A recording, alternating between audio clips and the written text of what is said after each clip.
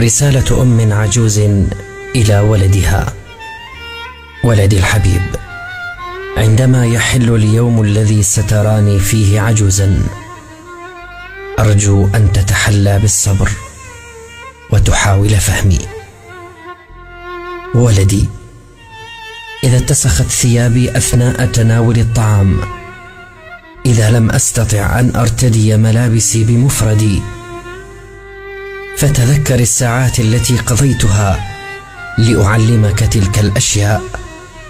ولدي الحبيب إذا تحدثت إليك وكررت نفس الكلمات ونفس الحديث آلاف المرات لا تضجر مني لا تقاطعني وأنصت إلي وتحمل تكرار أسئلتي.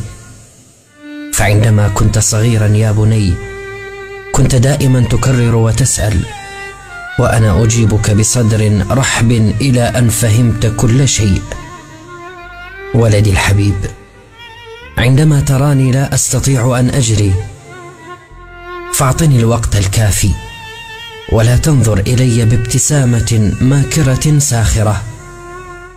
وتذكر أنني الذي علمتك كيف تفعل أشياء كثيرة كيف تأكل كيف ترتدي ملابسك. كيف تستحم كيف تواجه الحياة؟ يا بني عندما أفقد ذاكرتي أو أتخبط في حديثي فاعطني الوقت الكافي لأتذكر.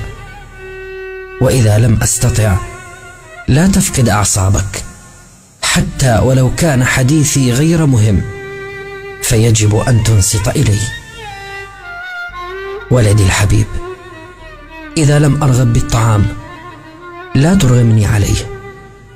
فعندما أجوع سوف آكله. ولدي الحبيب عندما لا أستطيع السير بسبب قدمي المريضة أعطني يدك. أعطني يدك بنفس الحب والطريقة التي فعلتها معك لتخطو خطوتك الأولى. ولدي الغالي عندما يحين اليوم الذي أقول لك فيه إنني مشتاق للقاء الله. لا تحزن ولا تبكي فسوف تفهم في يوم من الأيام. ولدي حاول أن تفهم أن عمري الآن قد قارب على الانتهاء. وفي يوم من الأيام سوف تكتشف أنه بالرغم من أخطائي فإنني كنت دائما أريد أفضل الأشياء لك. وقد حاولت أن اماهي